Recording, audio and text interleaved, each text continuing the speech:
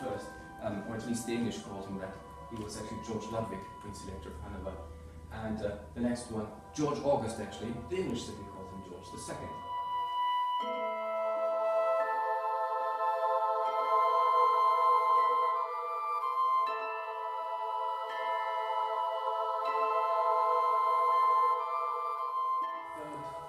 To George IV, Mm. to William IV, and then the male line went to Hanover.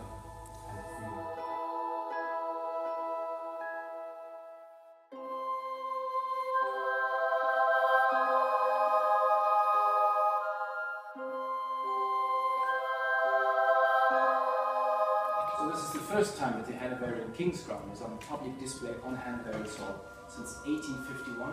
So you've probably been waiting for this for 164 years. Now is the moment. This is the Hanoverian Crown Jewels just for you.